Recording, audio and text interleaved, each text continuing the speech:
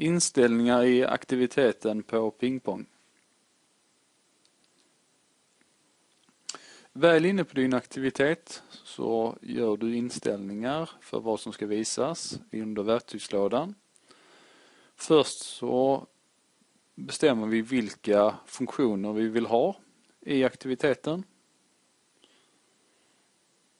Till exempel mål och framsteg. Vill vi ha innehållssidor, inlämningsuppgifter, kalender. Testa och bocka för allt och se vad som händer. Sedan så väljer vi aktivitetens startsida. Och det är alltså den första sidan som visas när någon klickar sig in i aktiviteten.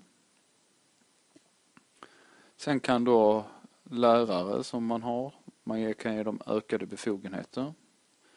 En länk till publicering på öppna sidor. Och vi kan lägga till egna länkar så att det blir som ett snabbval för studenterna att klicka sig in. En eh, länk som används i alla mina aktiviteter är schema. Och eh, då väljer jag ny länk och sedan så går jag in i Time Edit och eh, plockar fram kursens schema där.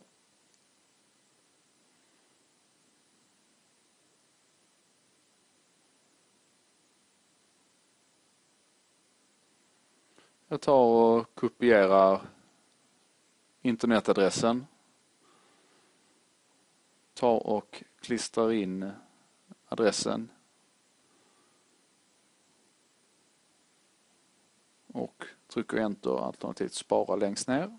Och då kan vi se att nu ligger schemalänken inne under aktiviteten.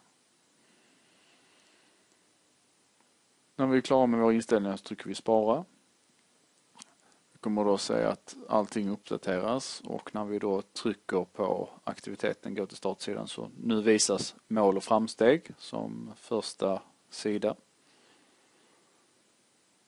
Och under länkar så har vi numera schema och klickar på den så kommer man direkt till aktuellt schema.